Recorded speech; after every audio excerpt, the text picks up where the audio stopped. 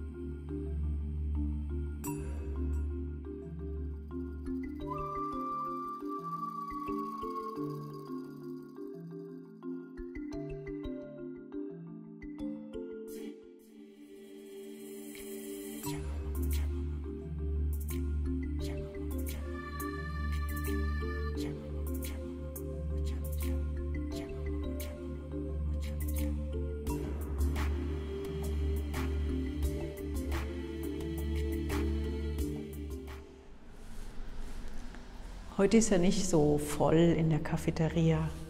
Dank Corona hat man ja mal richtig Zeit und Luft, sich die Bilder hier anzuschauen. Diese Menschen hier sind auch komplett äh, ungefährlich. Also ich mache seit äh, einem Jahr eigentlich erst solche Figuren, die den Raum füllen, ohne sie wirklich zu füllen. Sie ähm, reagieren manchmal miteinander, manchmal stehen sie auch nur einfach nebeneinander. Und momentan füllen sie eben hier diese Cafeteria und betrachten sich die Werke von meinem Vater.